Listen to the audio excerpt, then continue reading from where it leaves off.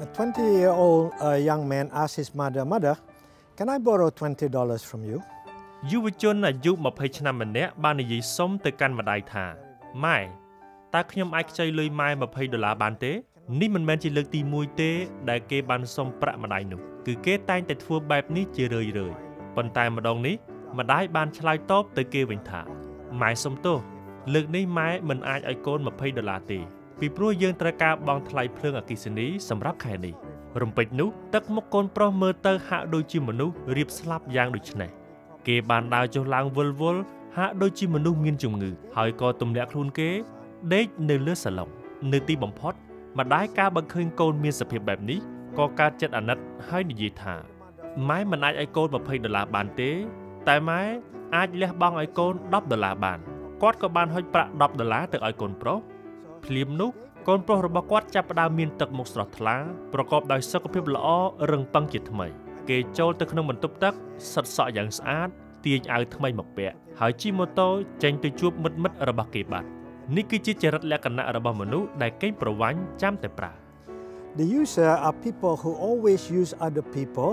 uh, resources, especially those who love the most, you know. មនុស្សកេងប្រវ័ញ្ចគឺជាមនុស្សដែលតែងតែប្រើប្រាស់ធនធានរបស់អ្នកដទៃជាពិសេសធនធានរបស់មនុស្សដែលស្រឡាញ់រូបគេខ្លាំងបំផុតឧទាហរណ៍ប្រសិនបើនៅក្នុងផ្ទះមានមនុស្ស2នាក់ដែលគាត់អាចកេងប្រវ័ញ្ចខ្ចីប្រាក់បានព្រោះជាធម្មតាមនុស្សកេងប្រវ័ញ្ចមិនដែលនិយាយថាតើខ្ញុំអាចសុំប្រាក់20ដុល្លារបានទេ តែគេនិយាយថាតើខ្ញុំអាចខ្ចី20ដុល្លារបានទេ តែគេគ្មានចេតនាក្នុងការសងត្រឡប់មកវិញទេមនុស្សដែលកេងប្រវ័ញ្ចគឺជាមនុស្សដែលចេះតែប្រើហើយប្រើទៀតនៅអវ័យអវ័យរបស់អ្នកដតីឥតឈប់ឥតឈរប៉ុន្តែមិនដែលសងត្រឡប់មកវិញទេដូច្នេះប្រសិនបើនៅក្នុងផ្ទះមានមនុស្ស2នាក់ជាឪពុកនិងម្ដាយគេនឹងសម្លឹងមើលថាតើអ្នកទាំងពីរនេះនរណាមួយខ្សោយជាងគេ មានន័យថាតើអ្នកណាម្នាក់មានភាពងាយស្រួលក្នុងការផ្ដល់ដល់គេ នៅអ្វីដែលគេត្រូវការ ប៉ុន្តែវាមិនចាប់ត្រឹមប៉ុណ្្នឹងទេអ្វីដែលមនុស្សកេងប្រវ័ញ្ចតែងតែធ្វើនោះឧបមាថាម្ដាយរបស់គេឈឺតើគេគិតថាកូនប្រុសម្នាក់នេះឬបុរសម្នាក់នេះនៅចិត្តម្ដាយគេហើយនិយាយថាម៉ែម៉ែឈឺហើយតែម៉ែមិនបាច់បារម្ភទេខ្ញុំនឹងមើលថែផ្ទះសម្បែងខ្ញុំនឹងបោកគក់ខោអាវខ្ញុំនឹងធ្វើម្ហូបសម្រាប់ម៉ែពិតណាស់វាមិនអាចទៅរួចទេមនុស្សដែលកេងប្រវ័ញ្ចជាមនុស្សដែលពូកែក្នុងការប្រើប្រាស់អ្វីអ្វីរបស់អ្នកដទៃហើយខ្ញុំជឿជាក់ថា អ្នកហើយនឹងខ្ញុំប្រហែលជាមានបទពិសោធន៍នៅក្នុងការជួបមនុស្សប្រភេទនេះពេលខ្លះមិនមែនជារឿងធំដុំនោះទេពេលខ្លះពួកគេគ្រាន់តែខ្ចីទូរស័ព្ទដៃរបស់យើងហើយនិយាយថាតើខ្ញុំអាចខ្ចីទូរស័ព្ទដៃរបស់អ្នកបានទេខ្ញុំមានរឿងចាំបាច់ដែលត្រូវតាក់ទងទៅ ពេលនោះយើងក៏ឲ្យគេខ្ចីទៅ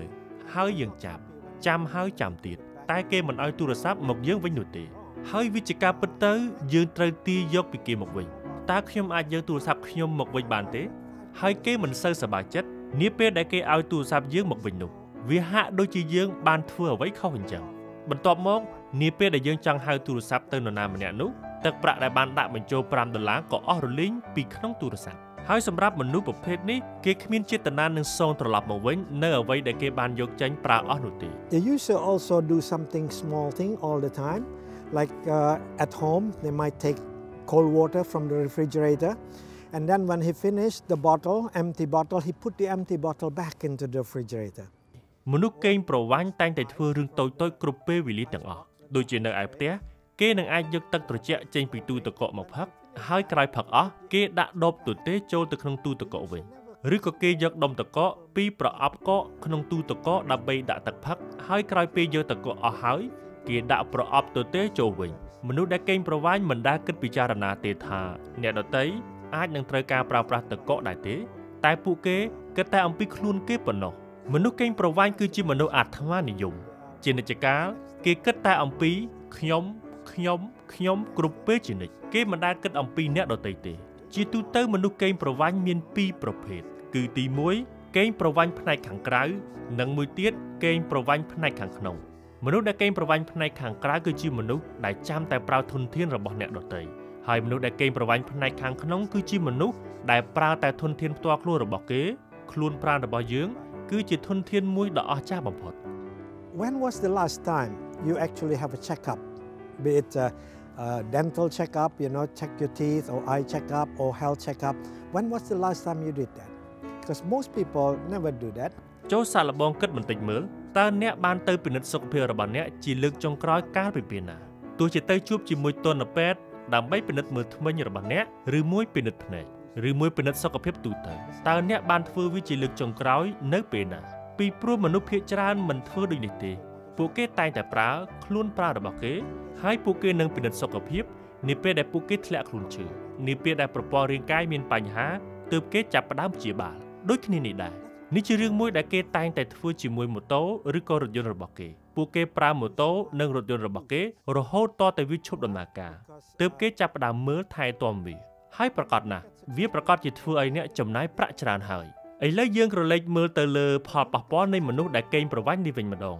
ជាទូទៅមនុស្សកេងប្រវ័ញ្ចគឺជាមនុស្សដែលមិនសូវទទួលជោគជ័យទេមនុស្សកេងប្រវ័ញ្ចគឺជាមនុស្សគ្មានសមត្ថភាពហេតុអ្វីពីព្រោះបើយើងមើលទៅមនុស្សដែលទទួលជោគជ័យ ពួកគេទាំងអស់មិនដែលជាមនុស្សដែលកេងប្រវ័ញ្ចទេពួកគេខ្លាចជាមនុស្សជោគជ័យពីព្រោះពួកគេមិនមែនមនុស្សដែលកេងប្រវ័ញ្ចគឺទម្លាប់កេងរបស់យើងនោះទេដែលធ្វើឲ្យយើងទទួលបរាជ័យពីព្រោះនេះពេលដែលយើងប្រើធនធានរបស់អ្នកដទៃគ្រប់ពេលវេលាដោយមិនសងត្រឡប់មកវិញនោះមនុស្សទាំងឡាយនឹងលែងជឿជាក់លើយើងពួកគេមិនចង់នៅជាមួយយើងពួកគេមិនចង់ជួបយើងនាពេលយើងត្រូវការអ្វីមួយធំដុំឬក៏ជំនួយចាំបាច់គេនឹងបដិសេធភ្លាមពីព្រោះពួកគេមានការនឿយហត់ដោយការកេងប្រវ័ញ្ចឥតឈប់នេះណា ហើយជាលទ្ធផល មនុស្សដែលកេងប្រវ័ញ្ចគឺមិនមានមិត្តល្អច្រើនទេ As we can see from our previous video, you know relationship is important because we cannot be successful alone. ដោយដែលអ្នកបានដឹងអំពីប្រធានបទមុនមុនទំនាក់ទំនងរវាងគ្នានឹងគ្នាពិតជាសំខាន់ណាស់ពីព្រោះយើងមិនអាចជោគជ័យតែម្នាក់ឯងបានទេដូច្នេះបើគ្មានមិត្តល្អដើម្បីជួយយើងនោះទេ យើងពិបាកនឹងទទួលជោគជ័យណាស់តើយើងអាចធ្វើយ៉ាងដូចម្តេចបើយើងជាមនុស្សដែលកេងប្រវ័ញ្ចនោះ ប្រសិនបើអ្នកគិតថាទេទេទេខ្ញុំមិនមែនជាមនុស្សដែលកេងប្រវ័ញ្ចនោះទេខ្ញុំមិនដែលធ្វើបែបនេះទេចូលសាកគិតម្ដងទៀតខ្ញុំជឿជាក់ថាយើងគ្រប់គ្នាសុទ្ធតែមនុស្សដែលកេងប្រវ័ញ្ចភពផែនដីគឺជាអ្នកម្ដាយរបស់យើងអ្នកម្ដាយរបស់យើងបានផ្ដល់អ្វីអ្វីគ្រប់យ៉ាងដល់យើងដើម្បីឲ្យយើងទទួលបានជោគជ័យគាត់បានផ្ដល់អាហារដល់យើងផ្ដល់ទីកន្លែងឲ្យយើងរស់នៅ ហើយធ្វើឲ្យយើងទទួលបានជោគជ័យ ប៉ុន្តែយើងនៅតែបន្តកេងប្រវ័ញ្ចអ្នកម្ដាយរបស់យើងជាបន្តទៀតយើងបានយកអ្វីអ្វីពីគាត់គ្រប់ពេលទាំងអស់ហើយមិនដែលសងត្រឡប់ទៅវិញសោះឥឡូវនេះអ្នកម្ដាយរបស់យើងក៏ធ្លាក់ខ្លួនឈឺភពផែនដីរបស់យើងមិនមានសុខភាពល្អពេញលេញទេប៉ុន្តែតើអ្នកគិតថាអ្នកឈប់កេងប្រវ័ញ្ចលើគាត់ទេអត់ទេ